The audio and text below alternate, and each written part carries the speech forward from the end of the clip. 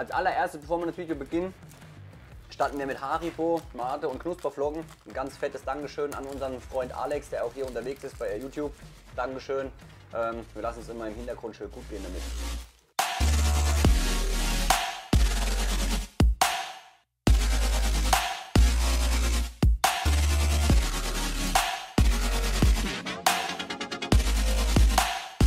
So, dann seid erstmal herzlich gegrüßt zum Video Nummer 2 zum Thema Elektrodeschweißen. Heute auch wieder am Start, unser Michael von Böhler-Welding. Hallo. Ähm, hier, liegen die, hier liegen unterschiedliche Elektroden und heute wollen wir mal auf das Thema eingehen, warum gibt es überhaupt so viele? Ja, wir haben ja einige Packungen liegen. Warum und was ist der Unterschied? Für welche Materialien? Für welche Schweißvarianten? Für was für Material? Habe ich jetzt schon mehrfach gesagt. Darauf gehen wir jetzt auf jeden Fall ein. Und der Micha übernimmt jetzt quasi das Wort und sagt uns, was wir hier für schöne Elektroden liegen haben und was wir mit denen Gutes machen können und was nicht. Was ganz wichtig ist zum Elektrodeschweißen, ist nicht der Name. Der Name ist einfach die Bezeichnung. Also von der, wenn ich eingreife, von der Elektrode. Von der Elektrode, Also genau. wie ihr jetzt Böhler-Welding heißt, heißt das. Phoenix Grün Tee bei uns. Alles klar, also da ist man schon mal nicht so. Wir machen es jetzt ganz kurz. Was für euch wichtig ist, ist, ich weiß nicht, ob du das unten siehst, dieses RR. Sieht man das?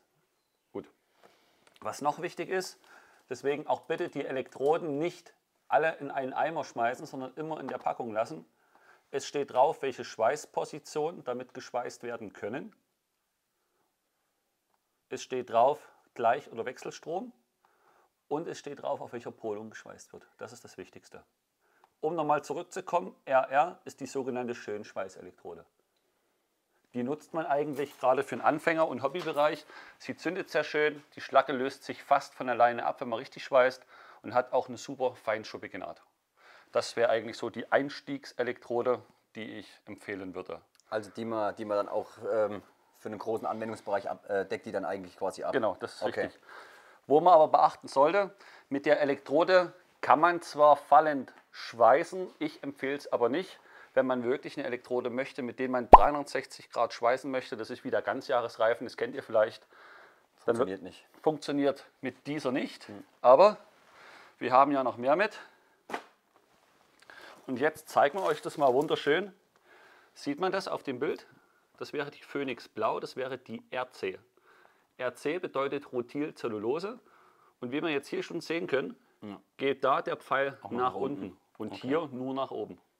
Also eigentlich total einfach, alles schön über das Bild zu erkennen, Deswegen bitte Eigentlich. die Elektroden nicht wegschmeißen, sondern immer in der Elektrodenpackung lassen. dass du weißt, was los ist. Damit erübrigen sich 90 Prozent aller Fragen. Ja, das stimmt. Also letztendlich wie bei allem, ein Zusatzwerkstoff vom WIG, vom MAG, vom, die WIG-Nadeln, vom, vom WIG-Schweißen, wenn wir mal auf das andere Thema wollen, äh, kommen wollen, dann ja, also wie immer, auf, aufheben. Genau. Ordentlich, das ist, ja, weil an der, an der Elektrode an sich erkennt man es ja nicht, gell? An der Elektrode steht es zwar drauf, hier oben, Ja, aber nicht, jetzt- aber nicht so schön, nicht Genau. so schön bildlich dargestellt. Okay. Und das dritte, was ich noch empfehlen würde, das wäre unsere Phoenix Spezial D. Die Phoenix Elektrode, wie oben zu sehen, ist eine Mischelektrode, eine basische rotile Elektrode. Diese kann auch nicht fallend verschweißt werden, hat aber eine mega geile Eigenschaft. Ihr kennt das vielleicht alle, beim Elektrodeschweißen habe ich ja doch sehr viel Schlacke. Ja. Und das Problem bei viel Schlacke ist einfach, ich kriege Poren, Bindefehler rein, meine Naht hält nicht und sieht teilweise nicht schön aus. Diese Spezial D-Elektrode hat im Vergleich zu den anderen Elektroden sehr wenig Schlacke und lässt sich auch wunderbar in Zwangslagen mit doch sehr hoher Schweißgeschwindigkeit schweißen. Okay. Also bei Zwangslagen reden wir eigentlich dann eher schon von, ja, Steignähten über Kopfnähten. Genau, also ich sage mal, im Hobby-Anwendungsbereich muss man dann schauen, ob man das da überhaupt braucht. Richtig. Ja, Es ist wieder, das ist heute wirklich ein sehr theorielastiges Thema, sage ich mal, wo man wirklich mal darauf eingehen, was gibt es für unterschiedliche Elektroden, in welchem Anwendungsbereich. Aber das Video soll ja natürlich auch immer, wir versuchen es immer nicht, also für alle Anwender eigentlich äh, ein Erklärvideo sein, was man, welchen Vorteil hat durch welche Elektrode. Und ähm, ja, Zwangslagen sind dann halt auch mal Überkopf. Gell? Über Kopf, Also, Stumpfnähte, richtig. wo es halt einfach unangenehm wird. Gell? Ich habe ja den großen Vorteil auf meinem Schweißtisch, die Bauteile sind relativ klein. Ich kann mir gerne alles legen, wie ich das brauche. Deswegen, wenn ihr den Vorteil auch habt, dann kann man natürlich sagen, ich brauche nur die, wo ich äh, steigend schweiß. äh, fallend halt nur, wenn ihr jetzt ein großes Bauteil habt oder einfach nicht die Möglichkeit habt, das irgendwo Das reicht ja schon am. Gartenzaun zu Hause. Wenn irgendeine Halterung weggerissen ist, kannst halt schlecht den Gartenzaun drehen. Der ist Gut, ja meistens wird- einbetoniert. Genau, richtig. Ne? Und dann, äh, dann geht das halt damit fallend. Super. Fallend, steigend. Wie jetzt? Fallen, vergessen. fallen Fallen. nicht Ach so, genau, die ist dafür. Okay. Genau. Schweißen ist dein Ding. Warum trägst du das dann nicht nach außen? Mit unserem Merch bist du eigentlich für jede Situation gewappnet und immer perfekt gekleidet. Also check einfach mal unseren Shop aus auf unserer Homepage alulöffel.de. Was wir dann noch zum Schluss zeigen, ist Edelstahl. Ganz kurz, bevor wir. Das ist denn jetzt genau. Das ist nur für Stahl. Nur für Stahl, richtig. Was ist jetzt, wenn der Stahl rostig ist, wenn er verzinkt ist? Was müssen wir, auf was müssen wir da noch achten bei der Elektrode? Wie jeder von euch Schweißern weiß, sollte man natürlich mein Schweißstück oder das Schweißgut immer metallisch blank machen. Okay. Also wie bei Edel, äh, wie bei Big Schweiß und Max Schweiß. Wie beim Big Schweißen. Da aber wir alle Menschen und Schweißer sind, wird das gerne bei Elektrode mal vernachlässigt, was man auch machen kann mit gutem Gewissen. Man muss natürlich jetzt abschätzen, baue ich jetzt einen Atomreaktor und ein U-Boot oder baue ich jetzt für mich eine Halterung für zu Hause. Trotzdem ist die Elektrode vom Schweißen her mit das unanfälligste, was beim Schweißen gibt. Das heißt, auch wenn das Blech rostig ist, verschmutzt, Farbe drauf und sonst was, natürlich immer in Maßen, dann kann man mit einer Elektrode auch die Vorarbeit etwas reduzieren und man kriegt trotzdem super Ergebnisse. Können wir gerne aber nachher auch nochmal zeigen. Ich glaube auch, dass das aber auch in den Köpfen so drin ist. Also bei mir war das auch so, weil das sieht man immer. Elektrode kannst du immer nehmen. Gell? Elektrode Ja. kannst du, wenn es regnet, also wenn, egal was für eine, für eine, für eine, also für eine Einflüsse sind, äh, kann man Elektrode nehmen. Aber wie du schon sagst, wenn man ein ordentliches Ergebnis erzielen will, ich sag mal, die Flex oder eine Drahtbürste kann man ruhig mal kurz in die Hand nehmen, macht das ordentlich sauber, bereitet das ein bisschen vor, weil ich denke, das Zündverhalten wird definitiv ein Un- ein Unterschied sein. Ja. Es wird besser, besser gehen, viel schöner. Und das Schmelzbad wird meiner Meinung nach, wenn ich jetzt von der Erfahrung her ausgehe, von Mack oder von Wick, es wird einfach schöner laufen. Es läuft schön. Gell? Genau. Man sieht schöner, es läuft schöner, es würde auch weniger Dreck aufsteigen, weniger Qualm. Jetzt sind wir auch wieder bei Gesundheit, gell? wegen den Dämpfen, die er dann einatmet, wenn dann Farbe, Verzinkung, irgendwas dran ist, wird alles nicht gesünder, die ganze Sache.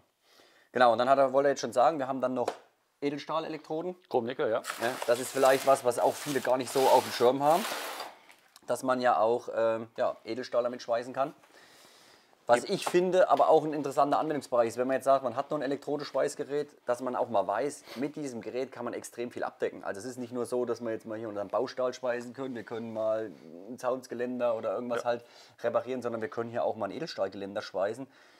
Oder was halt, jetzt fällt Richtig. mir gar kein Beispiel ein, was noch so aus Edelstahl ist, aber Was vielleicht noch wichtig ist, was ich denke, ihr seht ja, die Packung ist noch unverpackt. Das heißt, hier ist Folie drum.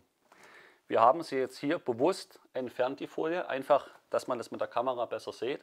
Aber wenn ihr euch ein Päckchen Elektroden kauft, schneidet bitte nur eine Seite auf und lasst die Folie drum. Warum ist das so? Ist mir übrigens eben auch aufgefallen, dass er das gemacht hat. Also war für mich auch neu, deswegen ist es ein cooler Tipp. Ja, gerne. Die Elektrodenpackung ist ja doch sehr schwer. Die wiegt ganz genau 4 Kilo. Jetzt müsst ihr euch vorstellen, wenn die in einem Eimer liegt, wackelt immer rum oder die immer hin und her getragen wird, dann reißt die erste, die zweite, die dritte, die vierte Ecke auf. Die Elektroden werden schmutzig, die können extrem feucht werden, man kann sie verlieren, man kann sie vertauschen. Deswegen bitte immer die Elektroden, die nicht benutzt werden, zurück in die Verpackung und lasst die einfach Folie die Folie drum. Genau, ist einfach ein Schutz. Dann wären wir jetzt eigentlich auch bei einem Thema, was ich auch ganz oft höre. Ähm, feuchte Elektroden sind ja erstmal, ja, ja, lassen sich schlecht schweißen. Ja. Jetzt ist der nächste Punkt, dann höre ich immer ganz oft, äh, du musst in den Backofen tun vorher. Ich denke mal, jetzt sind wir beim Thema Mythos, was man ja ganz oft hört. Ich sehe es schon an seinem Blick. Jetzt bin ich auf die Antwort gespannt, was du sagst. Was ist, was ist Thema Backofen? Was, hat das Vorteile? Überhaupt bringt das irgendwas? Oder sagst du, ja, du wüsstest jetzt keinen Anwendungsbereich, wo das Sinn macht? Also es ist eigentlich ganz einfach. Alle rotilen Elektroden und alle Rotil-Zell- oder Zellelektroden müssen nicht vorgetrocknet werden. Im Gegenteil, die RC oder die reine Zellelektrode braucht sogar eine gewisse Restfeuchtigkeit. Okay. Nicht nass, sondern Restfeuchtigkeit. Ja. Mit dem Backofen habe ich selber schon gehört, wenn ich eine Elektrode in den Backofen lege, kann ich damit Guss schweißen. Jetzt stelle ich mir die Frage, weiß das das Gussteil, dass die Elektrode im Backofen lag und deswegen läuft's oder nein? Wahrscheinlich das, nicht, ne? Das ist alles Mythos. Okay. Es geht letztendlich darum, Zündet die Elektrode besser, wenn sie warm ist? Es hat nichts mit dem Zünden zu tun. Weil das ist das, was ich auch gehört habe, das haben sie unter meinem Video auch kommentiert von der Alu-Elektrode. Wenn ich die im Backofen getan hätte, wäre das besser gewesen. Sieht man hier vorne diese schwarze Spitze? Und diese schwarze Spitze ist eine Zündhilfe. Okay. Das bedeutet, Gibt sie an jeder Elektrode? normalerweise schon, Von jedem Hersteller? Ob es jeder Hersteller macht, weiß ich nicht. Ich weiß nur, wir machen es. Weil ich würde, das haut mal in die Kommentare rein für alle die, die schon Elektrode-Schweißerfahrungen haben, ob das so ist, weil ich glaube nicht. Also wir haben es, ja. Weil das ist für mich, glaube ich, neu. Weil wenn, ich, Okay. die, wenn ich an die blauen, also ich habe, ich weiß nicht mehr, was für ein Hersteller war, ich habe mal mit blauen gespeist von einem Bekannten damals, ähm, da wüsste ich nicht, dass sowas dran war. Okay. Aber interessant. Haut mal unten rein, ob ihr das auch wusstet oder ob das, das überhaupt, ob euch das schon mal aufgefallen ist, dass es wie so eine Zündhilfe nennt man das. Ob, Zündhilfe. Ob ihr das kanntet. Genau. Und jetzt komm noch mal bitte her. Was steht da drauf?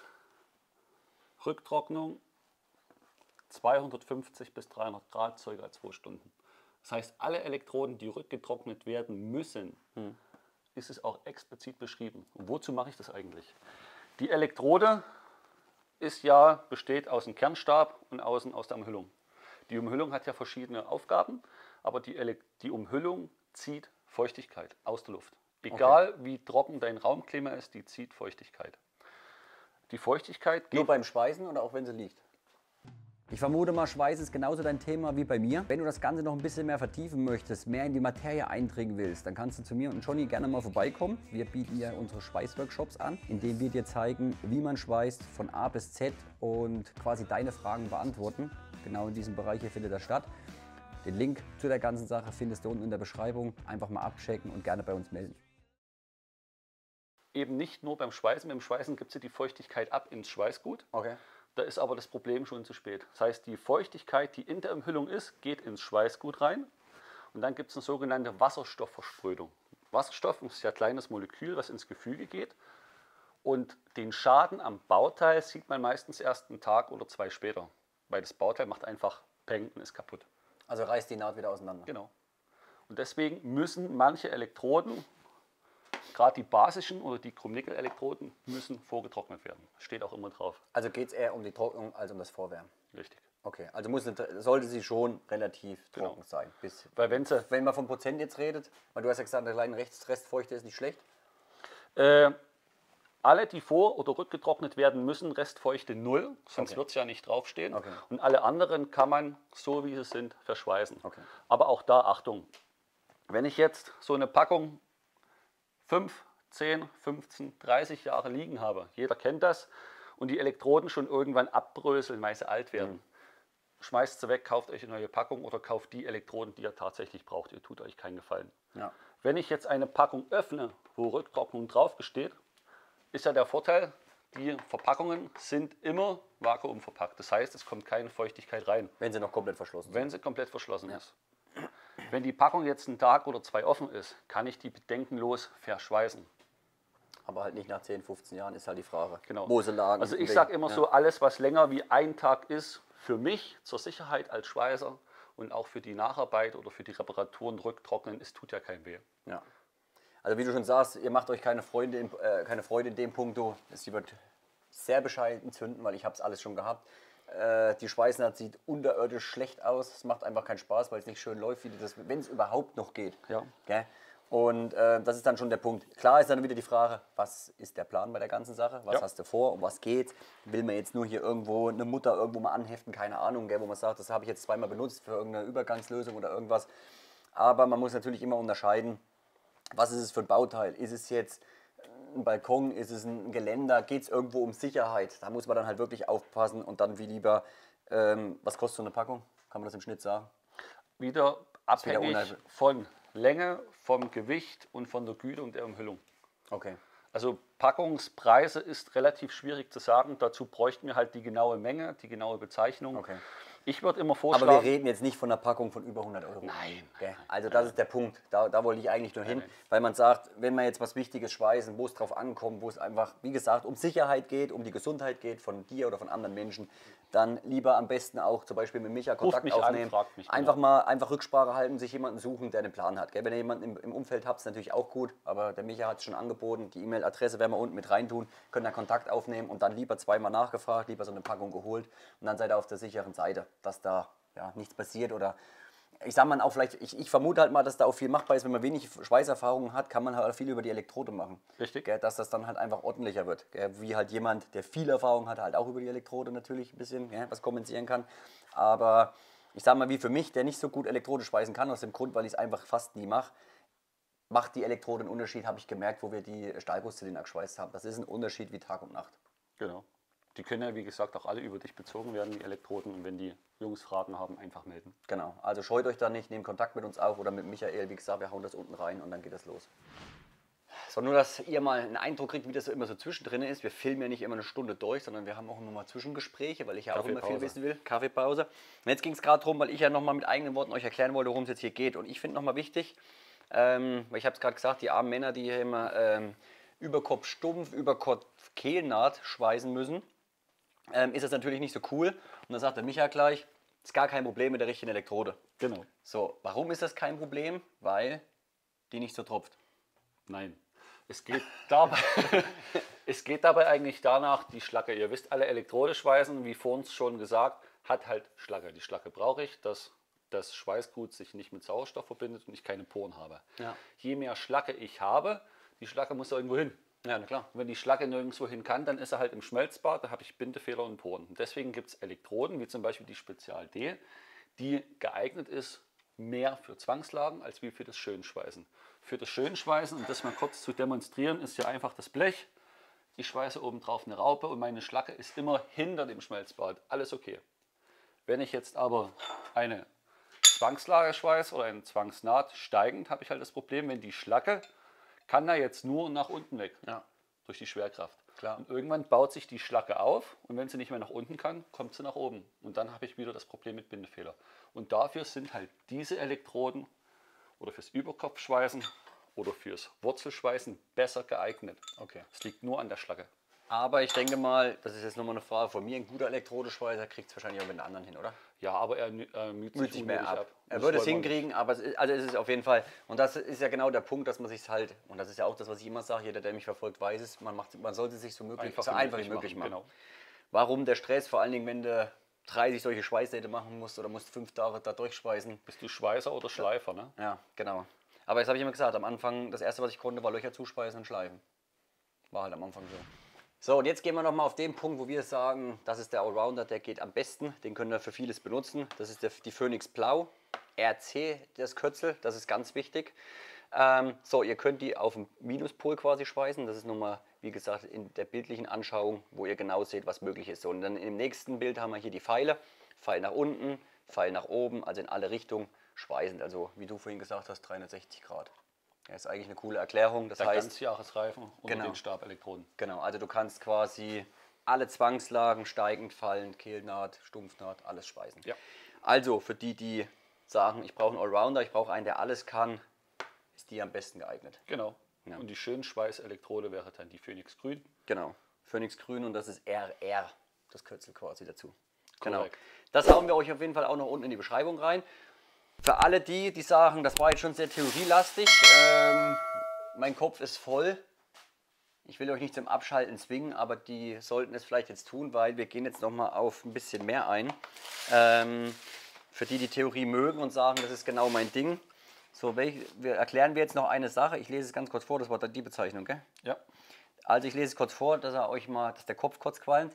EN ISO 2560 AE 420 RR12 und das wird jetzt noch mal kurz der Micha erläutern, was sich in dieser Bezeichnung verbirgt. Das machen wir. Da ich auch nicht alles weiß, haben wir von uns, von Föst Alpine, einen wunderschönen Produktkatalog, wo es auch vom Erik einen Link geben wird In der Beschreibung. in der Beschreibung. Genau. Und letztendlich ist das Allerwichtigste hier erklärt. Diese IN- und ISO-Geschichten sind halt die Einstufungskategorien für die Stabelektrode. Die sind jetzt nicht ganz so wichtig, aber dieses sollte man eigentlich wissen. Hier ist jetzt zum Beispiel eine Chronickel-Elektrode bezeichnet. Das heißt, E steht für Kurzzeichen E-Hand. 19123 sind einfach die Zusammensetzungen dieser Elektrode. Das L steht für Low Carbon, das bedeutet wenig Kohlenstoff. B steht für Umhüllungstyp, also basisch. RC dann für Rutilcellulose und so weiter. Und die letzten zwei Zahlen sprechen viele zum Beispiel B22 aus. Das ist falsch. Das heißt richtig B22. Und das bedeutet letztendlich nur gültig für welche Schweißposition und die Ausbringung. Und wenn wir jetzt eine Seite weiterblättern, haben wir genau das mit den Kennziffern hier wunderbar als Übersicht stehen. Und auch da, wer eine Übersicht möchte, kann sich gerne bei mir oder beim Erik melden, schicken wir raus. Das war schon die Erklärung. Also ich habe es gesagt, sehr theorielastig. Für mich ist das erstmal der Blick ins Schwarze. Viel, viele Zahlen. Ins Blaue. Oder in, ja, in dem Fall ins Blaue. Aber ähm, ja, es sind halt trotzdem wichtige Fakten, die man wissen kann, sollte, muss, je nachdem, wie weit man sich mit dem Thema natürlich beschäftigen will. Ja, sollte man da schon in dem Bereich ein bisschen mehr wissen wollen oder nicht, dann haben wir dazu den Link und wir hauen den unten in die Beschreibung rein. So, also heute war es ein theorielastiges Thema zum Thema Elektroden, aber ich denke, das war mal ein ganz guter Einblick über die Mythen, über die Unterschiede, was kann man alles mitmachen. Zu diesem Thema haben wir ja schon das, ein Video gemacht mit dem Micha zusammen. Verlinken wir euch. Also, wenn ihr die Reihenfolge einhalten wollt, guckt euch das andere auch noch an. Natürlich gibt es auch noch ein praxisbezogenes Video zu dem Ganzen, wo wir nochmal drauf eingehen und auch mal ins Schweißen gehen, ja, wo die Absaugung hier laufen wird. Also am besten unsere Glocke aktivieren und uns abonnieren, die, die das noch nicht getan haben. Alle anderen werden es ja mitbekommen. Es werden jetzt, wie gesagt, einige Videos noch folgen. Dranbleiben. Ich wünsche euch einen coolen Abend. Wir sagen, ihr lasst es euch gut gehen. Bis zum nächsten Video. Viel Spaß. Ciao.